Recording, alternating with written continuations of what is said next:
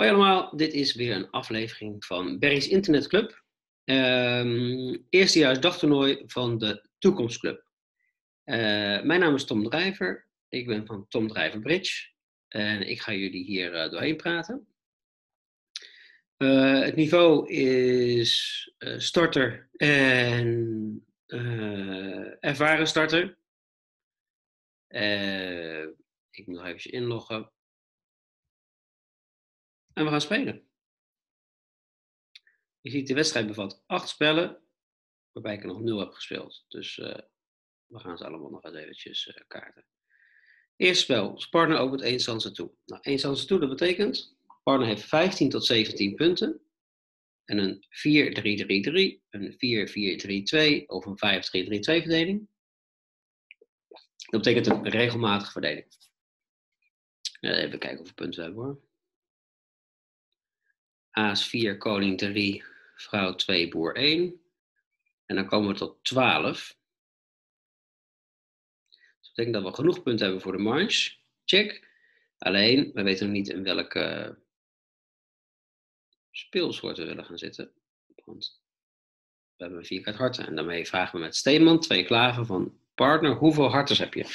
En hoeveel schoppers heb je? Even kijken hoor. Heb je twee harten? Nou, dat betekent dat we een hartenfit hebben. We hebben acht harten samen, dus ik bied vier harten. Genoeg punten voor de manche en genoeg hartes voor de hartenfit. Even kijken hoor. Nou, in een troefcontract gaan we altijd verliezers stellen. Meestal vanuit de lange kant van de troef. Nou, laten we het eventjes vanuit de leider doen. Vanuit Noord. Uh, harters verliezen we niet, schoppers verliezen we niet. Ruiten, nou ja, misschien één als ze niet rond zitten, maar die zou ik misschien ook kunnen aftroeven. Klavers, ja, dat is gevaarlijk. Dan zouden we er wel twee of drie kunnen verliezen. Dus we gaan eens eventjes kijken wat er gebeurt. De eerste klaver leggen we klein. De tweede klaver leggen we ook klein. Nu is het hopen dat hij niet introeft. hey, dat is een meevallen. Had ook drie klavers. Um, nou, bij troef is het eerst troef trekken. Dan gaan we in verdelingen denken of in kaarten tellen. Nou, wat bedoel ik daarmee? Bedoel ik als je in kaarten telt, dan tel je zo. Ik tel er 4. Nog een keer spelen. 4 plus 4 is 8. Tel ik 9, 10, 11, 12. Er zit er nog eentje in. Als je verdelingen telt, dat kan ook. Dan zeg je van nou, we hebben er 8 samen. Dus de tegenpartij heeft er 5. Dus de kleur zit verdeeld 5, 0, 4, 1 of 3, 2. En dat kan langs twee kanten. En nu zien we dat ze twee keer bekend hebben, dus moet de kleur 3-2 zitten. Dus moeten we nog maar één keer, hoeven we nog maar één keer te spelen en dan zijn we het schroeven eruit. Nou, nu hebben we eigenlijk het zware werk gedaan. Nu gaan we de ruiten spelen. We gaan kijken of de ruiten zo rond zitten. Zo rond zitten hoeven we niet in te troeven en anders moeten we introduceren. Hij zit zelfs rond. Alle slagen zijn voor ons. Dus we nu alleen nog maar op te rapen. Nou, is een lekker spelletje om er even in te komen. Je ziet ook, het is 50%. Dat betekent dat bijna iedereen datzelfde heeft gedaan. Hmm, mooie verdeling. 8 punten, 6 kuitschoppen. Ja, als je het eventjes niet weet, kun je altijd vraagtekens aanklikken. Zet pas. Je kunt ook nog de rechter, stel je voor dat ik twee schoppen zou openen. Ik vind dit wel een twee schoppen opening. Je wordt hier geadviseerd om te pas, maar wij zijn eigenwijs. Ik open twee schoppen. Zwak met een, een zes kaart schoppen, 6 tot 10 punten. Dat gaan we eens even lekker spelen. In troef tellen we verliezers. Even kijken hoor. Als je een marge zit, is dat wat makkelijker tellen, omdat nou, dat je dan meestal wat minder verliezers hebt. Nu heb je wat meer verliezers, maar we gaan gewoon ons best doen. Even kijken, we missen ja, twee of drie schoppenslagen. De aas, de vrouw en de tien. Geen hartenslagen. Eén klaverslag. Ja, misschien een ruitenslag ligt eraan omdat de snit eh, fout zit. Dus 1, 2, 3, 4, 5 verliezen ongeveer. Maar misschien kunnen we er al wat goed maken. Kleintje beloofd plaatje, dus daar gaan we eens even een truc mee uithalen. Truc speciaal. Harte 10 voor harte vrouw. Pak ik het aas. Maar voordat ik nu een andere kleur ga spelen, normaal gesproken ga je eerst troef trekken. Maar ik wil het liefst op tafel zijn om troef te trekken. Dus ik steek over met harten. En ik speel een hartje naar de 9. Want hij speelde kleintje beloofd plaatje. De aas, de koning en de vrouw zijn er al uit. Ja, dus moet die hard de boer wel hebben. En hier gooien we een verliezende klaver op, op weg. En nu zijn we op tafel, nu gaan we de schoppen spelen. Naar de boer voor een snikje. Helaas. Die zat mis. Ja, nu is het wat gevaarlijker. Ik zou een ruiter kunnen spelen om te snijden, maar dan heb ik wel kans dat ze hem eventueel aftroeven. Nou, weet je, ik ga hem gewoon wagen. Nu, ik wil namelijk schoppen het liefste van tafel spelen. Ai, die zit ook fout. Dat is balen. Er zit nog één hoge troef in. En die, als er nog één hoge troef in zit, dan we hem lekker zitten. Die maken ze vanzelf wel een keer. Kijk, schoppen 10. Nou, nu is de rest rond. We hebben nog twee troefjes over. Dus hier maar, dat is ook een goede tip. als er nog maar één hoge troef in zit, hoef je hem er niet uit te halen. Dat heeft geen zin om troef te trekken. Kijk eens aan. Dit was in ieder geval een goede score. Het was een goede keuze om dus twee schoppen te houden. Hier kunnen we niks meer openen, hier moeten we mee passen.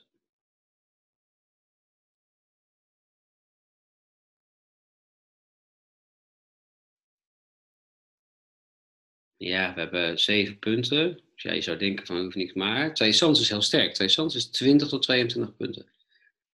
Dus kunnen we de manche bieden.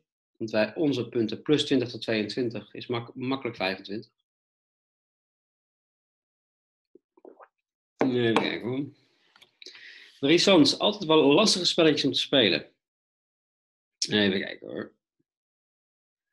Die speelt kleintje beloofd plaatje. Gaan even onze slagen tellen. Ik tel één schoppenslag, maar met deze start 2. Eén hartslag is 3. En drie ruitslagen, 6. Nou, die ruiten kunnen we een lengteslag ontwikkelen. En waar kunnen we voor de rest slagen in ontwikkelen?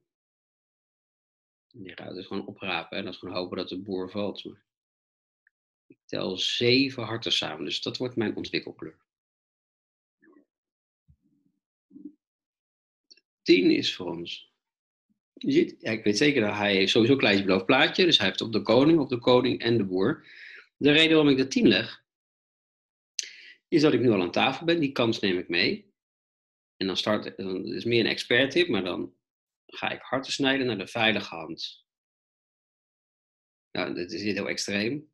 Dat betekent wel dat ik speel harten naar de boer. Stel je voor dat hij mis zit, dan is deze kant aan slag. Oosten is een slag. En die kan dan geen schoppen spelen, want op een schop heb ik de aas en de vrouw. Tja, die harten is ineens niet meer zo interessant, hè? Die zitten helemaal verkeerd.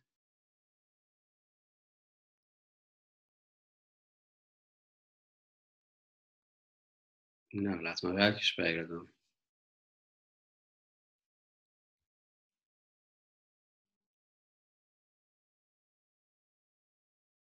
Gaat oversteken. Ja.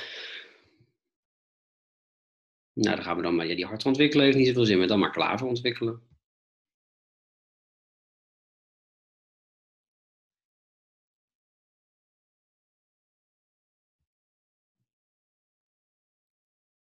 Ja, als we nog een klavertje spelen, wordt de klaver misschien hoog.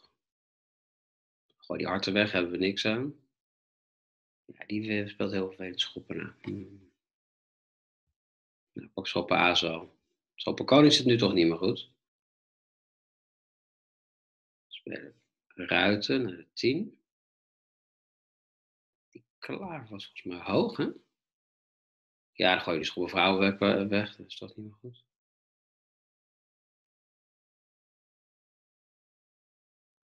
Proberen op de vrouw, maar ze deed het heel goed honneur op honneur, waardoor hij nou harte 10 maakt. Volgende spelletje. Uh, twee harten, oh dat is weer leuk, dat is die zwakke opening, zwakke 2. En die partner, die biedt vier harten. Dus de zwakke 2 open je om de tegenstanders te storen, maar ook om zelf contacten te maken en te halen, zoals wij net deden, met twee schoppen, maar ook om eventueel nog de manche te bieden, want je partner kan nog heel sterk zijn.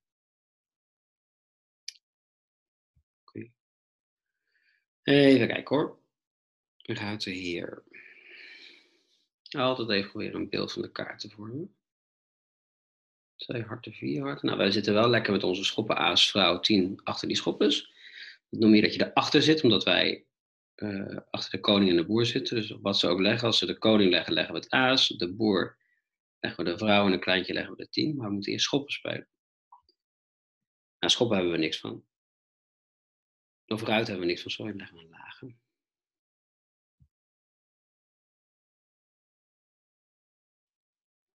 Nou, hij heeft de troeven getrokken, dat weten we ook al. 9 troeven samen. Kijken hoe die klaver speelt. Ja.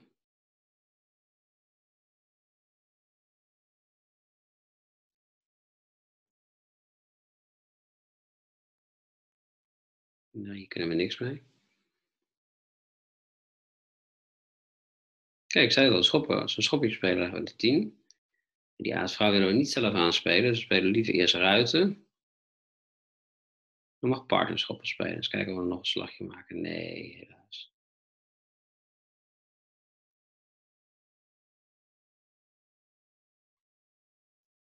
Ja, hij heeft het tegen tijd goed gedaan. 11 slagen hebben ze gemaakt met hartenstrof. Je ziet hier de twee hartenopeningen met mooie gezonde harters. Maar 6 tot 10 punten. En gezond bedoel ik mee te zeggen, mooie kleur. Twee plaatjes en nog een, zelfs drie honneurs, 10 erbij.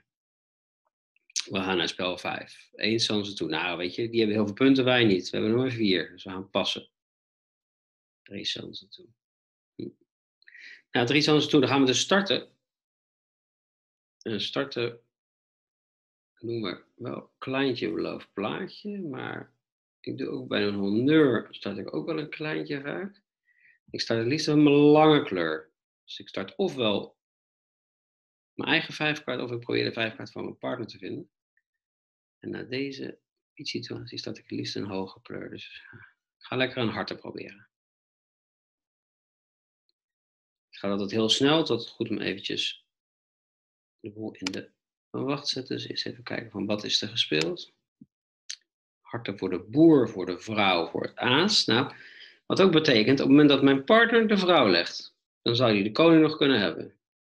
Als hij de koning had gelegd, weten we zeker dat hij de vrouw niet heeft. Dus dit is wel belangrijke informatie. Maar ja, we moeten eerst een kleintje. Eens kijken of we onze kleur hoog gespeeld krijgen. Hmm.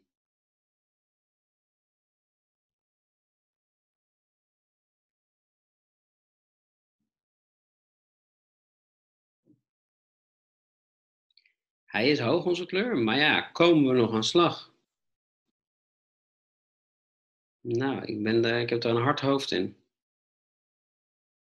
Ja, hier hebben we niks meer aan. Die ruiten vrouw wil ik eigenlijk ook niet weggooien.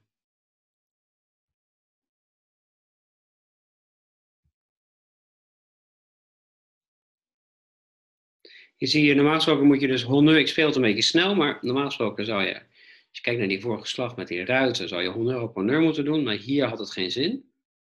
Want je probeert alleen maar een kaart bij je partner bij jezelf hoog te maken. En hier hadden ze de 10 zelf. Dus hier moest ik niet honneur op honneur spelen. Hier wacht ik gewoon af om uit de vrouw te maken. Ja, de start was leuk. Dus uh, we hadden wel meteen een slag ontwikkeld, maar de tegenpartij was te sterk. Nou, hier passen we weer met vier puntjes. Partner opent twee sansen toe. Nou, je eens een vraagteken Dan denk ik van ja, wat zou ik bieden? Um, partner belooft 20 tot 22 punten. Dus ja, we proberen het gewoon. Drie sansen toe. Meestal hebben we wel voldoende punten samen. Even kijken hoor. Ja, dat is, is wel tricky hoor. Uh, klein. Even kijken, ik moet even slagen tellen natuurlijk. Eén schoppen. Twee harten is drie. Twee klaver is vijf. Dus ergens slagen vandaan zien te. Dat is best moeilijk.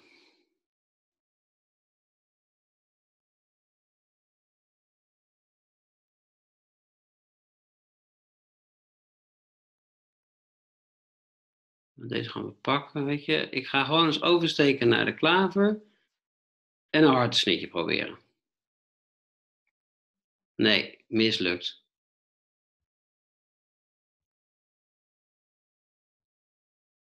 Eens kijken of de harters grond zitten, dat ik nu wat slagen kan maken. Nee, dat kan ook niet.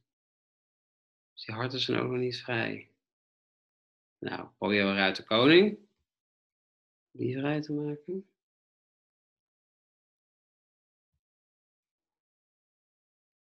Nou, ja, zoals je ziet, het berichtje is ook wel eens afzien.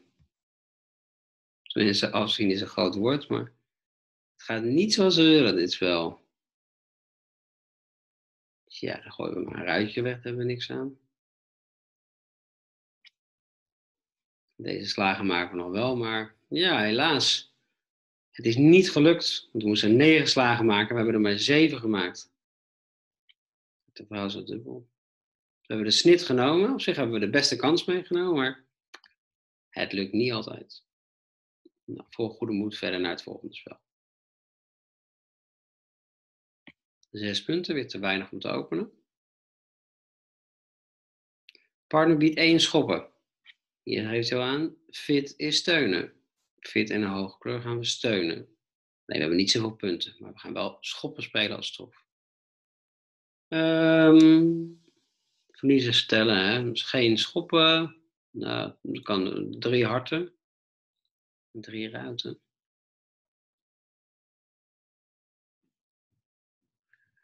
Verzin een list, verzin een list. Maar dan kijk ik ook altijd even naar de bieding. Kijk, West heeft geopend, dus daar zitten de meeste punten. Dus dan heb ik wel een beetje vertrouwen dat harte aas, de snit op harte aas, dat die misschien wel goed zit. Eerste pakken, want we hebben maar een singleton klaver.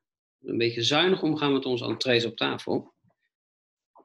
Even kijken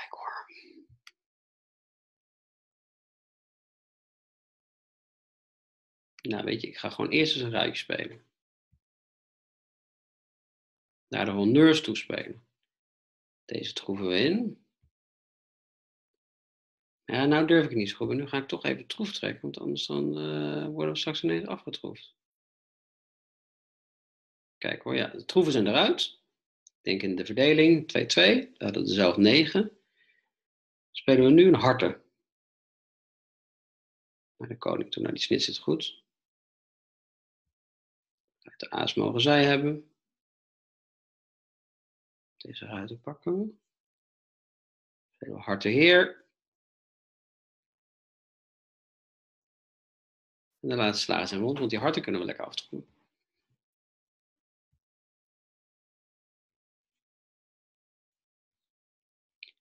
Oh, die troeven zijn hoog. Oké, dit is het hele spel. Je ziet dat het belangrijk is dat je kijkt naar de entrees, zodat je aan tafel komt om te spelen. Want je wil de ruiten wil je naar de honneurs toespelen en de harten wil je naar de honneurs toespelen. Dus het was niet goed geweest om bijvoorbeeld te pakken en dan schoppen vrouw, kleine schoppen naar de aas. Dan zit je in je hand. Dus daar moet je echt vooruit denken. Klaar spelletje weer. Even kijken hoor, vier.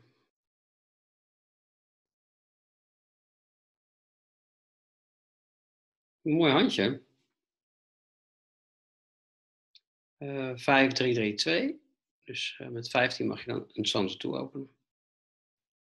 Twee ruiten gaan we niet over nadenken, want op twee ruiten moeten we twee harten bieden. Twee sans. Hmm, drie sans gaat hij bieden. Nou, meestal is het een afbod. Meestal is het klaar. Maar ja, hij heeft niet voor niks. Partner heeft niet voor niks eerst twee ruiten geboden. Dus twee ruiten om een vijf kaart hart aan te geven. Dus partner geeft nu aan, joh, de manche is geen probleem. Dat gaan we sowieso spelen. Maar ik heb geen zes kaart hart. Ik heb een vijf kaart hart. Wij hebben er drie bij. Met een fit gaan we vier harten spelen.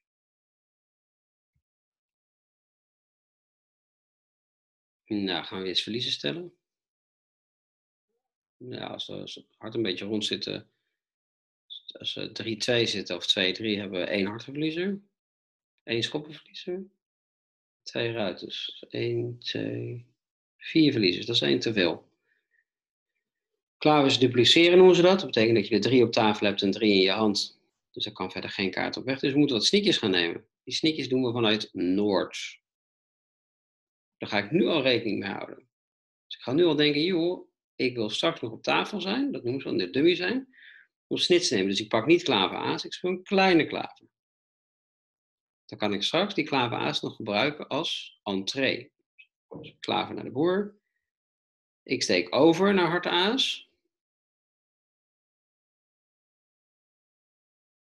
Dan speel ik ook harten koning voor de zekerheid.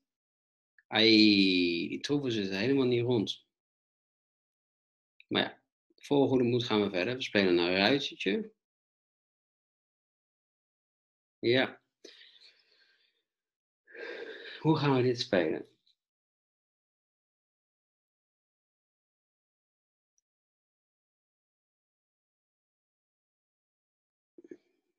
Ga toch maar uit naar de koning proberen, toch? Ai, zit ook mis.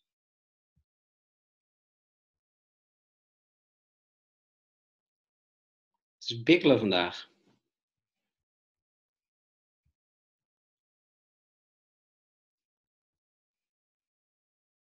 Nou, nu is gelukkig dat de rest uh, wel van denk ik. Arno moet nog een schoppersliedje nemen. Even kijken uit voor de vrouw. Ja, schop moeten we nog snijden. Die zit dan goed. Maar ja, het is wel zo. We hebben negen slagen gemaakt en we moesten er tien maken. Dus dat is niet genoeg. Eén down. waren leuke spelletjes, vond ik. Ik had het zelf wel beter kunnen doen.